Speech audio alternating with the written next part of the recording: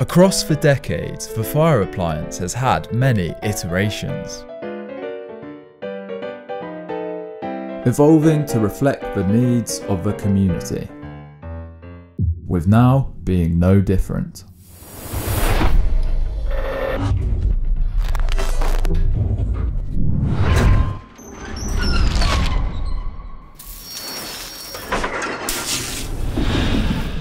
Let's find out what this latest appliance brings to the table. I'm really excited to introduce the new light rescue pump. We really wanted to produce a more agile, flexible vehicle uh, into our fleet and we've gone through a significant process of collaboration with our staff to really understand that operational need.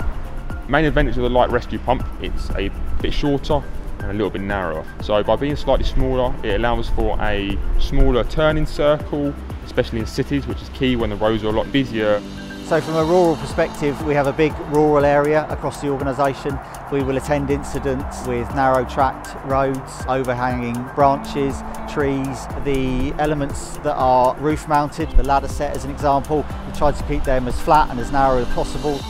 It gives us a bit more scope than we've had previously. So what sort of equipment makes up the modern fire engine? And is it what you'd expect? On the light rescue pump, we have a number of cutting tools that we can use for things such as car accidents. We call these our dedicated cutters, dedicated spreaders, and these would mainly be used at incidents where we're attending road traffic accidents, if we need to extricate people from that car by maybe cutting and removing the roof to get that casualty out. Uh, by being battery powered, it obviously means we haven't got to run hydraulic cables out, it means we can get them off, use them a lot quicker, and really get that casualty to the hospital as soon as possible.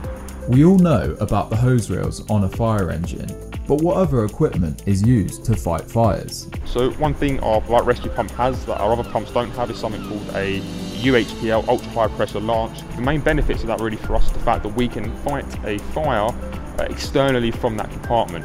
We can keep that compartment sealed we can penetrate through a part of the door, the wall, or anything like that with the ultra high pressure lance to extinguish the flames without actually having to send any firefighters straight in there. Also on the appliance we have a number of different tools such as drills, angle grinders, impact drivers, tools like this that can greatly help us, especially now our roles changing. For example, we get called to incidents where we have to assist the ambulance service with maybe gaining entry to a property. And by having these drills, these impact drivers and tools, we can actually now remove doors and things like that without actually having to cause much damage.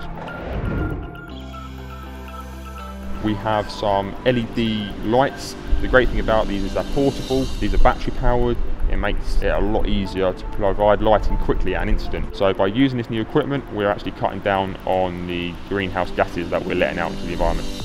So what's next for these versatile new appliances? Our intention is to fully embed the 10 light rescue pumps that we have currently.